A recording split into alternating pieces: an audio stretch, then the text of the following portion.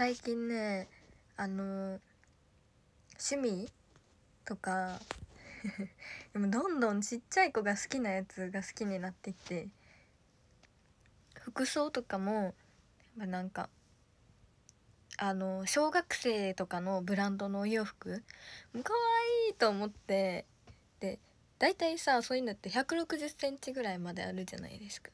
1 6 0センチやったらまあ着れるなって。だかたまになんかキッズとかで服買ったりします。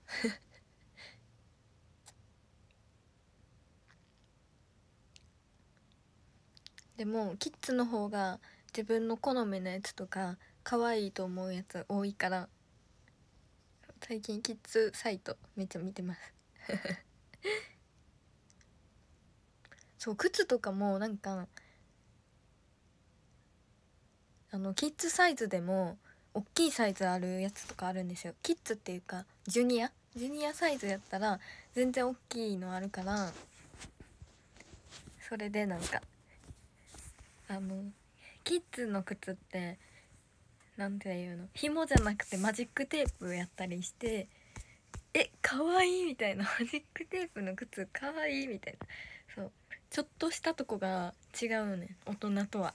それがもう可愛くてなんか最近はもう全部キッズで見るようにして 今年24歳になります。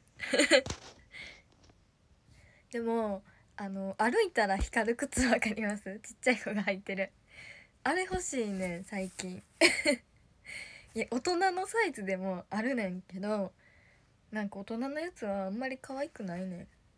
んだからキッズが欲しいけどさすがにあのほんまに1 7センチぐらいまでしかないから キッズのやつ。そうだから大人のやつ。大人用やけど光るやつみたいな。ねあ防犯みたいな。防犯にもなるし。そのうちあの音鳴る靴とか履いてるかもしれん。みたいななるやつ。あれとか履いてあの劇場とか歩いてるかもしれん。